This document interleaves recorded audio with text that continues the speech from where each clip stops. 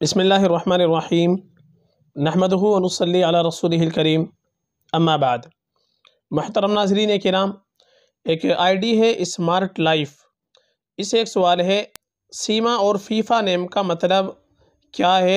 वो ये नाम हम रख सकते हैं। चुनाचे जो नाम आपने पूछे, इनमें पहला नाम है सीमा। सीमा, इसके माना आते हैं माथा, पेशानी, जबी। और एक माना सीमा क्या आते हैं अलामत।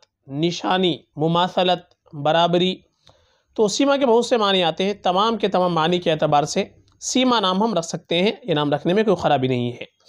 दूसरा नाम आपने पूछा है, फ़ीफ़ा।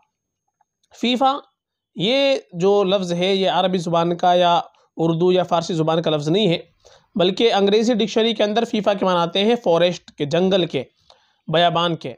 और फीफा वर्ल्ड कप को भी कहते हैं, जो आलमी सतह पर जो फुटबॉल का मैच होता है, उसको वर्ल्ड कप को फीफा कहते हैं, फीफा वर्ल्ड कप।